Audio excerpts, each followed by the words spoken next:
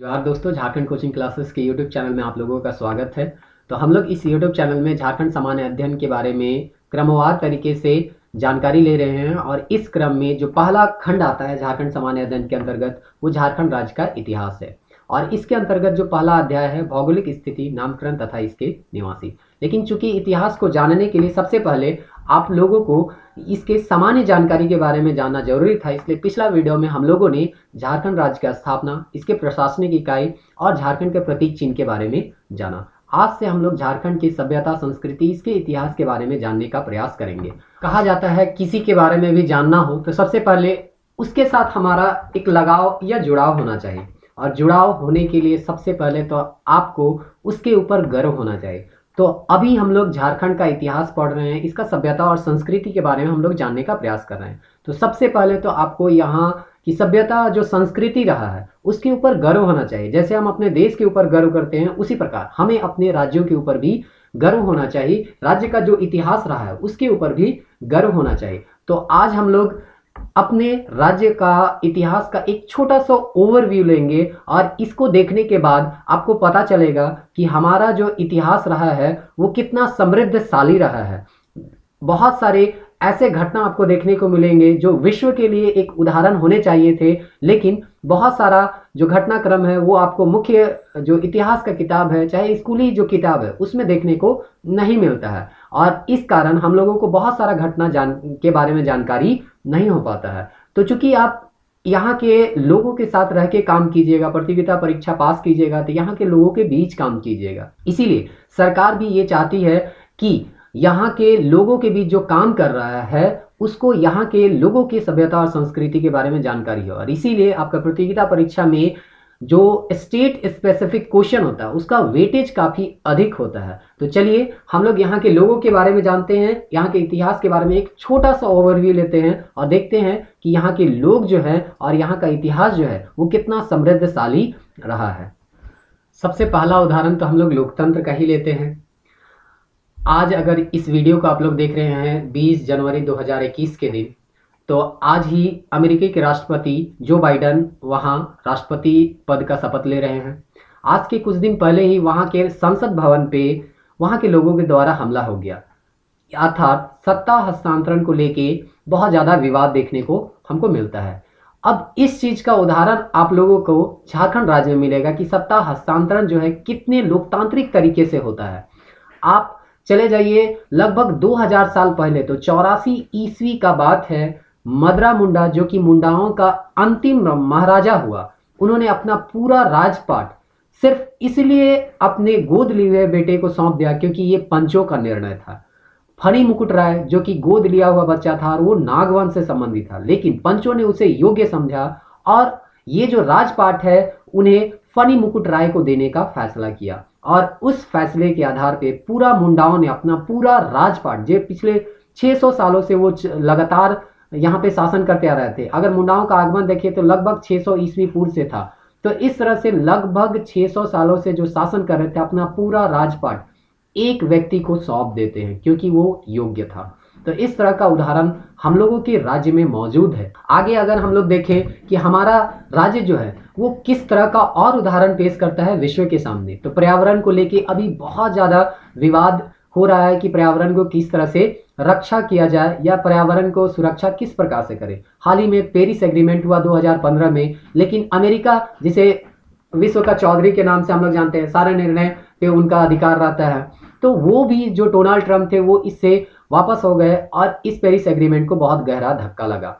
आप पिछले साल देखिएगा तो 2020 में बहुत आपको आपदाओं देखने, आपदा को देखने को मिला होगा। आप कोरोना वायरस के बारे में सोच रहे होंगे, लेकिन इसके अलावा में आप देखिए तो विश्व में कई हिस्सों में जो जंगल थे, वो आग के चपेट में आ गए। और इस तरह से विश्व का अधिकांश हिस्सा जो है, वो जंगलों का, वो आग के चपेट में था। अब ब्राज़ील देखिए। ब्राज़ील जो है 2020 के प्रथम सात महीने में आपका लगभग वहाँ 1300 किलोमीटर स्क्वायर क्षेत्र जल के राख हो गया। 1300 स्क्वायर किलोमीटर क्षेत्र बहुत बहुत होता है, बहुत। आप देखिए झारखंड जो रांची जिला है, रांची जिला का अगर आप क्षेत्रफल देखिएगा तो लगभग 5000 किलोमीटर स्क्वायर है। अर्थात इसके तीन गुना अधिक क्षेत्रफल जो है, लगभग ढाई गुना से तीन गुना अधिक क्षेत्रफल जो है, वो वहाँ का जंगल एक महादेश में जो है, वो जल के राख हो गया। इसी तरह आप अगर देखें तो इंडोनेशिया हो, चाहे ऑस्ट्रेलिया हो, वहाँ के जंगलों में आग लगा और पर्यावरण को काफ़ी नुकसान उठाना पड़ा। और इसी क्रम में हम लोग देखते हैं कि आपका तीन तारीख का न्यूज़ में आया था कि लगभग पिछले साल ऑस्ट्रेलिया में जो आग में लगा, उसमें जंग, जानवर, लगभग तीन अरब जानवरों का मौत हो गया। तो इस तरह से पर्यावरण को लेके विश्व अभी भी जागरूक नहीं है, जबकि यहाँ के जो जनजाति है, वो प्रारंभ से ही यहाँ पर्यावरण को यहाँ पूजा जाता है। चाहे वो कोई भी पर्व हो, वहाँ पे पेड़ पौधों को पूजा जाता है। कर्मा हो, जितिया हो या सरहुल हो, जनजातियों का ये प्रमुख त्यौहार है, जिसमें इन पर्यावरणों, पर्यावरणीय चीज़ों को पूजा जाता है। तो इस आधार पे भी हम अपने ऊपर गर्व कर सकते हैं कि हम लोगों ने प्राचीन काल से ही पर्यावरण को सुरक्षा पहुँचाने का काम किया है। आप देखिएगा कि हमारे आ, हम लोगों को कभी कभी लगता है कि हमारे राज्य में जो है वो बहुत बड़े बड़े भवन या महल क्यों नहीं देखने को मिलते हैं? लेकिन इसका एक कारण रहा है। आप देखिएगा नवरत्नगढ़ जो है बस एक आध आपको इस तरह का उदाहरण देखने को मिलता है जो कि गढ़ जिसको हम लोग कह रहे हैं। तो ऐसा उदाहरण क्यों नहीं झारखंड में हर एक जगह या हर एक जिला में आपको एक दो उदाहरण देखने को मिल जाता है? इसका कारण एकदम स्पष्ट है कि यहाँ के जो राजा होते थे, वो केवल उसी समय राजा होते थे जब निर्णय लेना होता था। यहाँ के पाहन पुजारी जो होते थे उसी समय पाहन होते थे जब पूजा करना होता था। बाकी समय लोगों के बीच वो ऐसे घुल मिल जाते थे कि पता नहीं चलता था कि कौन राजा है, कौन पाहन है और कौन मजदूर है, कौन मालिक है। और इसीलिए जो हम लोग कहते हैं कि फ्रांस की क्रांति, जो कि सत्रह सौ नवासी में हुआ, उसके बाद उसका जो संविधान धीरे धीरे बना, उससे प्रभावित होकर हमारे प्रस्तावना में स्वतंत्रता, समानता, समता और बंधुता को स्थान दिया गया है।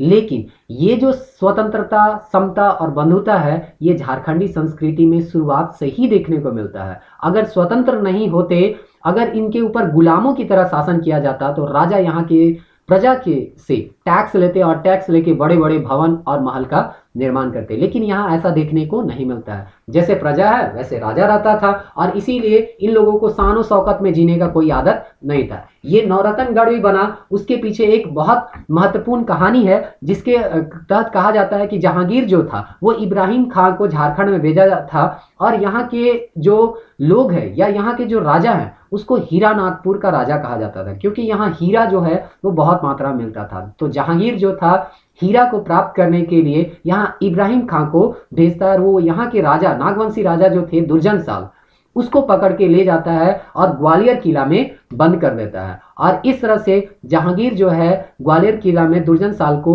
12 सालों तक बंद रखता है। उसके बाद जो है, उसको रिहा करने का कारण भी वही हीरा बनता है। तो एक बार जहांगीर ने असली और नकली हीरे को पहचान करने के लिए राजा दुर्जन साल को बुलाया, क्योंकि वो हीरा नागपुर का राजा था तो उसे पता था कि असली हीरा किस तरह का होता है और नकली हीरा किस तरह का होता है। दुर्जन साल ने असली हीरा के बारे में बताने के लिए एक शर्त रखा कि उसके साथ साथ और जो नौ राजा वहाँ पे बंदी थे, उसको भी रिहा किया जाए। और इससे जहांगीर प्रभावित होता है, क्योंकि एक ऐसा राजा जो खुद के बारे में ना सोच के और भी लोगों के बारे में सोचता है और इस तरह से वो खुश होकर बोलता है कि ठीक है, अगर तुम बता दोगे कि असली हीरा कौन है तो नौ राजा को भी मुक्त कर दिया जाएगा। और इस प्रकार से वो असली हीरा को बताते हैं नौ राजा को मुक्त करते हैं। तो इस तरह से मानवता क्यों, को यहाँ पे दर्शाया गया है दुर्जन साल के इस कहानी से। और हम लोग देखते हैं कि इसी के कारण ही नौ रतनगढ़ बना, क्योंकि वो नौ राजा इससे बहुत प्रभावित हुए। इसीलिए यहाँ पे आए तो देखे ये लोग झोपड़ी में रहते थे, लेकिन वो लोग लगे, वो लोग को लगा कि जो राजा के चलते हम लोग छूटे हैं, उसका एक काफ़ी बड़ा महल होना चाहिए। इसलिए वो लोग नवरत्नगढ़ को बनाए, नहीं तो नवरत्नगढ़ भी आपको देखने को नहीं मिलता। तो हम लोगों के राज्य में बहुत बड़े बड़े महल नहीं है, इसे लेके हम लोगों को ग्लानी नहीं होना चाहिए, क्योंकि ऐसा इसलिए है क्योंकि राजा, प्रजा पाहन सब जो होते थे या पुजारी जो होते थे, सब एक समान होते थे, स्वतंत्र थे और सब में समता और बंधुता था। इसके कारण इस तरह का कोई हम लोगों को महल देखने को नहीं मिलता है। ये जो ग्वालियर किला का फ़ोटो लिया गया है, वो मोहन जी के द्वारा लिया गया है। मोहन जी वही हैं, जिसकी सहायता से मैं ये नोट्स बना पाया हूँ। बहुत इन्होंने सहयोग किया है। तभी ये नोट्स की सहायता से हम ये वीडियो बना पा रहे हैं। तो इनका काफ़ी योगदान है इस वीडियो को बनाने में। चलिए, आगे हम लोग देख लेते हैं, जिसके बारे में एक छोटा सा चर्चा हम लोग कर लेते हैं यहाँ के लोगों के संगीत और नृत्य के बारे में। तो आज का अगर आप पेपर देखेंगे, या ये अभी के साथ कैसे संदर्भित है? तो आज हम लोग बहुत अधिक मानसिक स्वास्थ्य के बारे में चर्चा कर रहे हैं। तो मानसिक स्वास्थ्य के बारे में आज अर्थात एक 20 जनवरी 2021 का पेपर पढ़े होंगे तो वहाँ देखिए, आपका लिखा हुआ है मानसिक स्वास्थ्य रहने के लिए कहा जाता है, मनपसंद म्यूज़िक सुने और डांस करें, साथ ही साथ प्रकृति के सन्निकट रहें आप। ये चीज़ जनजातियों में शुरुआत से ही देखने को हम लोगों को मिलता है। जब ये इन्होंने यहाँ अपना साम्राज्य बसाया तो हम पहले वीडियो में भी बता चुके थे, जंगल को साफ़ किए थे, ये गाँव के बीच में एक अखरा बनाया, और वहाँ शाम को ये मिलते थे और अपने विचारों का आदान प्रदान करते थे। इस प्रकार से इनके बीच जो मतभेद था, वो कभी भी गहरा नहीं हो पाता था। और इस तरह से कहा जाता है, खुशी बांटने से बढ़ता है और दुख जो है, बांटने से घटता है। ये चीज़ आप लोगों का जनजातीय संस्कृति में देखने को मिलता है। ये शाम को मिलते थे, नृत्य संगीत करते थे और इसलिए इन लोगों के बीच में मानसिक रोगी देखने को कभी नहीं मिलते हैं। तो कहा जाता है, इसीलिए हमारा जो संस्कृति है काफ़ी गर्व करने लायक है और हम सबको अपने राज्य पे, अपने राज्य के लोगों पे और उनके सभ्यता और संस्कृति पे गर्व करना चाहिए। तभी हम यहाँ के इतिहास को जानेंगे और यहाँ के लोगों के साथ एक जुड़ाव को महसूस कर सकेंगे। तो चलिए, आज का अध्याय हम लोग शुरू करते हैं। झारखंड का स्थिति, नामकरण और निवासी। चलिए हम लोग देख लेते हैं झारखंड राज्य के स्थिति के बारे में। तो आप लोगों को पता होगा कि हमारा जो झारखंड है, वो हिमालय से भी पुराना है। ये गोंडवाना लैंड का एक हिस्सा है, जिसको हम लोग डिटेल में भूगोल में देखेंगे। तो गोंडवाना लैंड का हिस्सा होने के कारण ये हिमालय से भी पुराना है और इसीलिए इसमें बहुत सारे खान खनिज आपको देखने को मिलते हैं। तो एक ओवरव्यू हम लोग लेते हैं कि जो झारखंड है, वो पूरे ग्लोब में कहाँ स्थित है। तो सबसे पहले तो आपको जानकारी होगा कि हमारा जो भारत है, वो उत्तरी गोलार्ध में है। इसीलिए हमारा जो झारखंड है, वो भी उत्तरी गोलार्ध में होगा। दूसरा चीज़, हम लोगों का जो भारत है, अगर उसे पूर्वी और पश्चिमी गोलार्ध में बांटा जाए पृथ्वी को तो पूर्वी गोलार्ध में है। तो आपका उत्तर झारखंड के लिए भी यही होगा कि पूर्वी और पश्चिमी में जो झारखंड है, वो पूर्वी गोलार्ध में है। तो इस तरह से आपको उत्तरी गोलार्ध और दक्षिणी गोलार्ध के साथ साथ पूर्वी गोलार्ध और पश्चिमी गोलार्ध के स्थिति के बारे में भी आपको थोड़ा बहुत जानकारी होना चाहिए।